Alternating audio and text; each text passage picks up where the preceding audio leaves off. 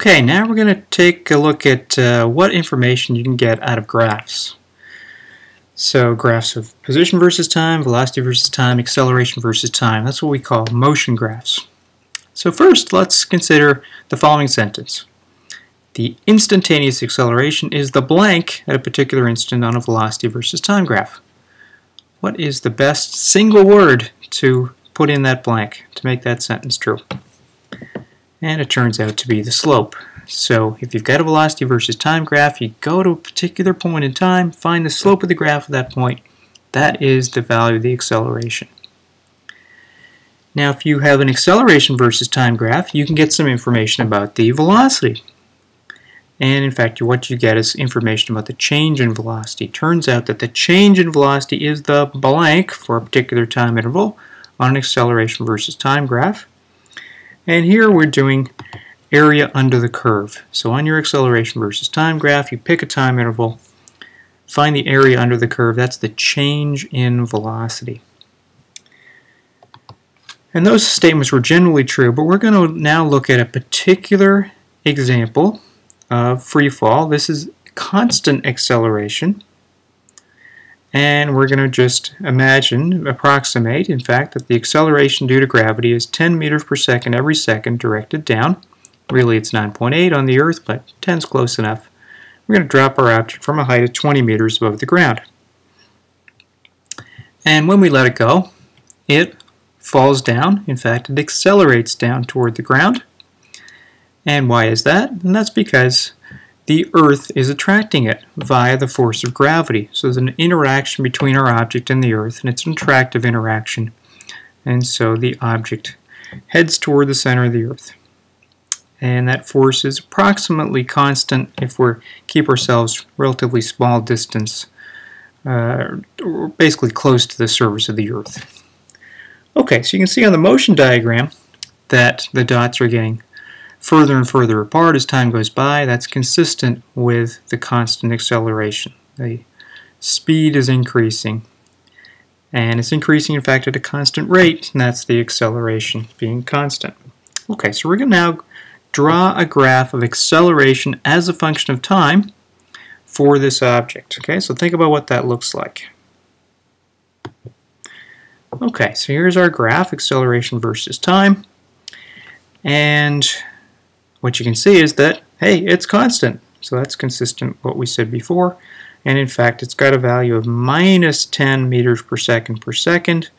So the negative sign indicates the direction. In this case, we've defined up to be positive, down is negative. Okay, so there's our graph acceleration versus time.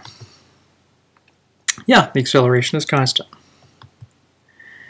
So using this acceleration, we can find the ball's change in velocity. And one thing to remember is, if you're interested, the images on the motion diagram are every 0.2 seconds. Okay, well that's fine. But, in fact, that's irrelevant when we're talking about the graph acceleration versus time. Well, that's okay. So how do we get this? We're going to get the area under the curve. So what we do is we're going to shade in the area between the axis, which is in fact the top of the graph where a equals 0 at the top. That's the horizontal line at the top. And we go all the way down to the minus 10, where the line is. And we're going to figure out the area under the curve there. And the area, it's just a rectangle, so it's just the width times the height. Okay. And so the width is 2 seconds, the height is minus 10 meters per second squared, or meters per second per second, so that's minus 20 meters per second. So that represents the change in velocity. And in fact, the velocity starts at 0, and it ends, therefore, at minus 20 meters per second. And that's the velocity it has just before it runs into the ground. And we also see the motion takes 2 seconds. Okay, so that's how we can get our change in velocity off the acceleration versus time graph. What is our velocity versus time graph? And one thing to remember is the acceleration is the slope of the velocity versus time graph, and our acceleration is constant. So our graph must have a constant slope. And again, think about as the object is falling, what the velocity is doing. It is steadily increasing in magnitude, getting more and more negative, in fact. So let's think about what the velocity versus time graph looks like as time goes by. And here it is. So let's wait till it's all done because it's rescaling the y-axis here. And when it's done, you can see that the graph has a constant slope. That slope, in fact, is the acceleration. The velocity changes at a constant rate. Okay, so velocity starts at 0, ends up at minus 20 meter per second. Halfway through, it's half of that, etc., etc.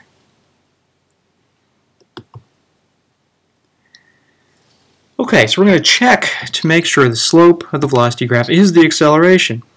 So this graph has a constant slope, so we'll just use the entire graph to find the slope. Okay, so that's just rise over run. So we dropped minus 20 meters per second in a two second period. So what's our slope? Rise over run. Minus 20 meters per second over 2 seconds is minus 10 meters per second per second, or meters per second squared. And that, in fact, is the value of our acceleration. So it works. Now we're going to look at connections between velocity and position. So we're going to complete the following sentences in a very similar way to the first ones we did. The instantaneous velocity is the slope at a particular instant on a position versus time graph. And if you have a velocity versus time graph, then we can get something about the change in position, and it's the area under the curve for a particular time interval on a velocity versus time graph. So let's see how that works in this case. So we've seen the motion diagram, we've seen the velocity graph. So how is velocity related to position, again, the area under the curve is the change in position, which is what we call the displacement. So let's do that for the entire two second period. So there's our area under the curve. We go from the v equals zero line, the axis, the horizontal axis, go down to the red line where the graph itself is, and we shade that in, and we get a nice triangle here. So we've got a height of our triangle, minus 20 meter per second, width of 2 seconds, so that's kind of the base, so we do 1 half the base times the height to get the area of the triangle. So 1 half of 2 is 1, multiplied by minus 20 meters per second is minus 20 meters. Actually, 1 half of 2 seconds is 1 second, so our units work out to minus 20 meters. Okay, so that's our displacement, and that's consistent with what's shown in the motion diagram. Starts at x equals 20, ends up, or y equals 20 if you want to call it that, but a position of 20 meters above the ground ends up at 0 on the ground, so it's dropped through a distance of 20 meters. Up is positive, down is negative, so the displacement is minus 20 meters. What about the position versus time graph? And this is when the acceleration is constant. Again, remember the velocity is the slope of the position versus time graph. What's the velocity doing? It's steadily changing. So that means the slope of our position versus time graph has to steadily change. So again, here's our motion diagram.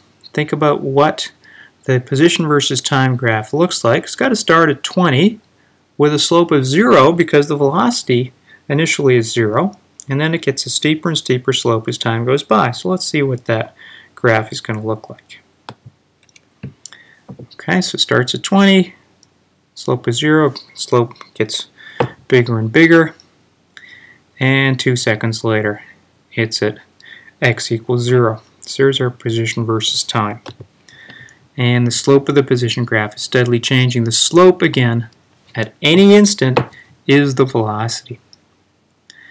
Okay, so that's how all these graphs are related to one another, position, velocity, acceleration, and how you can get one thing from another. Okay, so that's a nice introduction to what we can get off of graphs and what these graphs look like in general for constant acceleration.